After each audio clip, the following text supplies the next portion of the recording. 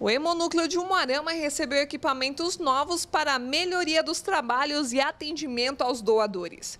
O centro de coleta de sangue passa a contar agora com cinco cadeiras novas e mais três ares condicionados. A intenção é oferecer maior conforto aos voluntários. Foi adquirido mais cinco cadeiras para doação, substituindo as anteriores, que funcionavam, eram boas, mas as atuais têm uma tecnologia mais avançada é, conforto que precisamos dar ao doador, né, que procura o hemonúcleo para doar seu sangue. E recebemos também, nas condições nossas, de Umarama, que é uma cidade muito quente, a região, não é só Umarama, toda essa região noroeste do Paraná, mais ar-condicionado, né, para também na sala de doador. Um dos aparelhos de ar-condicionado foi instalado no laboratório, onde também funcionam as geladeiras para armazenamento das bolsas. A temperatura no ambiente onde a gente trabalha com o sangue deve se manter constante entre 20 e 24 graus no máximo, ideal entre 22 graus.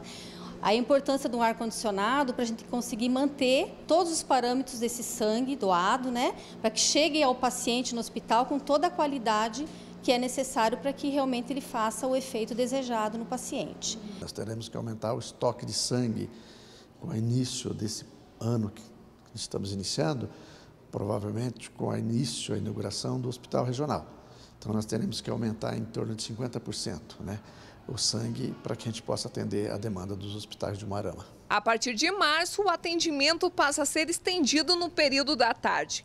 O diretor do Hemonúcleo destacou a importância da continuidade nas doações, já que em breve teremos um feriado prolongado. E nessas datas, a atenção é redobrada devido ao aumento no número de acidentes principalmente esse mês, por exemplo, de fevereiro, nós temos aqui o final do mês o carnaval, final e início de março. São cinco dias que vai ficar praticamente, estaremos atendendo, sim, mas não para doação. Você pega sábado, domingo, segunda, terça e quarta, não tem doação, porque tem o feriado, né?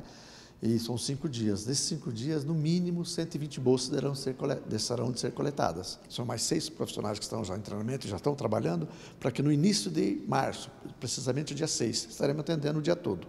O horário não sabemos se seguiremos no almoço, se teremos um intervalo de uma hora ou se seguiremos sem intervalo. Mas será de manhã e no período da tarde estaremos doação a partir de 6 de março. Uma emergência pode acontecer, uma catástrofe pode acontecer, a gente tem que estar com estoque sempre muito bom, né? Não basta ser bom, tem que ser muito bom para a gente poder estar atendendo a qualquer emergência, a qualquer momento.